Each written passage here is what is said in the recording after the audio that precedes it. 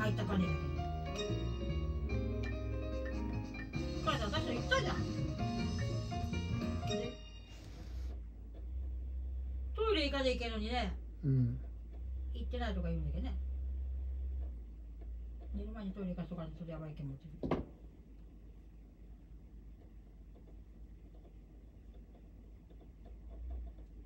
で。もね認知になっとても私の名前は忘れてなかった。うん。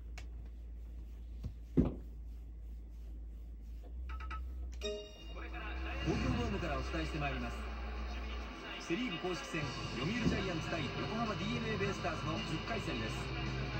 解説は小宮山悟さん西俊久さんのお二人。実況は三橋大輔でお伝えしていきます。お二人どうぞよろしくお願いします。よろしくどうぞさあ西さん今日のジャイアンツどのあたりに注目されてますか？そうですねやはり打線ですよね、はい。まあ、相手は連打を浴びても堂々するタイプのピッチャーではないですから。え1点が重要なゲームになると思いますよ。そのあたりも。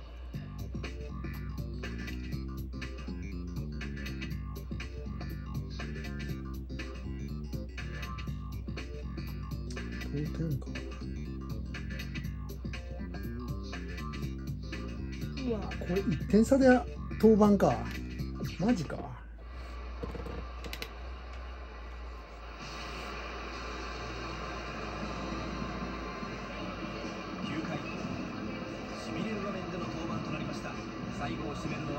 ちろんこの人です。ジャイアンツの守護神沢村逃げ切りを図ります。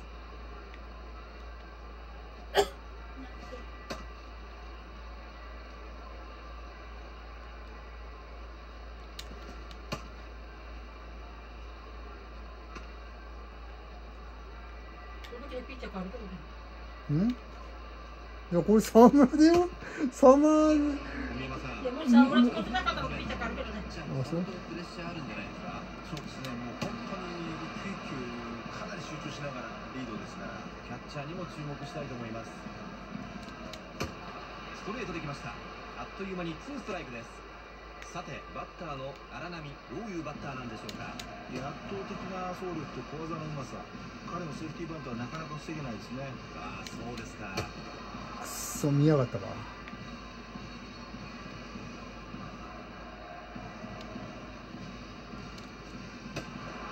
ルできました。スリーボールツーストライクフルカウントになっています。インサイド。弾き返した打球はセンターへ。松井抑えてワンアウト。え代打か。バッターボックスには代打のヒューマまあ小宮山さんここはしっかり抑えたいですよね。ここは落ち着いて投げてもらいたいですね。うんそうですね。さあ改めて集中していきたい場面ですー、外れたのもしかして最初は変化球できました。ボールになります。入れてきました。151キロ。変化球が決まりました。ワンボールツーストライクです。次が4球目。変化球で空振りを取りますさて小宮山さんここはどういうピッチングをすればいいでしょうか。あそれだけあるから気をつけんと入り方には気をつけたいですね。子供がたまたまではバッテリーてに注目ですね。初球大きな変化球イン回転でねコース決まりました。ノーボールツーストライクです。外へのカーブは外れました。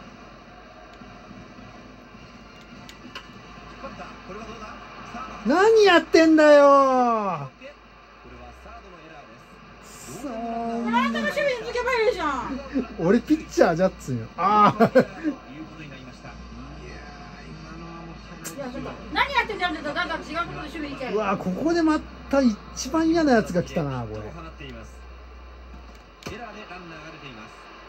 一番嫌なやつが来たわ。あお誕生日この間ね計算勝負どころですからね、攻撃側がどんな作戦で仕掛けてくるのか見極めが重要ですよ。二三かまあ、クイックが速いピッチャーですから、ランナーは走りにくいと思いますね。なるほど。そうですね。まあ、もう腕をしっかりして勝負するしかないでしょうね。さあこれで決まるのか。おっしゃ試合終了。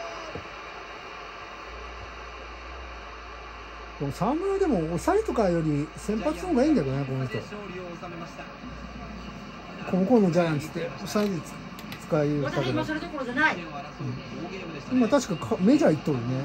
あんま活躍しとるっての聞かんけど。えもう帰っとんかな終わりましたよね。まあ、見ているファンもね、本当に満足して帰れると思います。よ。そのいい流れ明日も期待しましょう。勝ったジャイアンツ接戦をものにしました。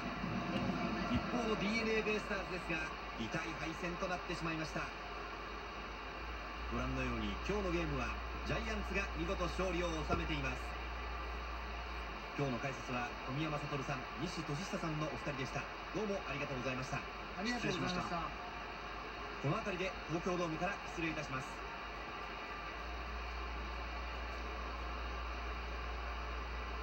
もうちょっと幅を開けりゃよかった。幅もああの入れりゃよかった。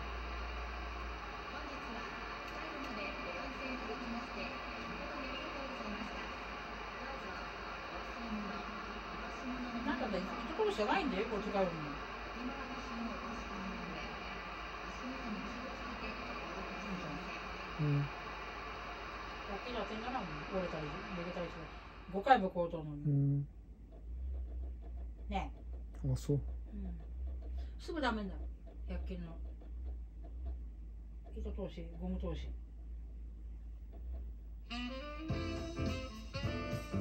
19セーブ目か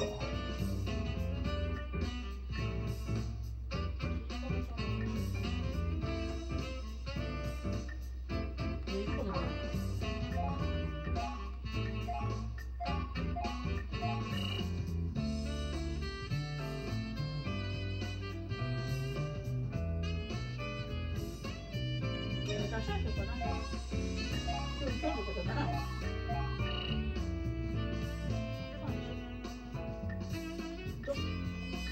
どうせ今日すぐ運んでくれないとまだあるし、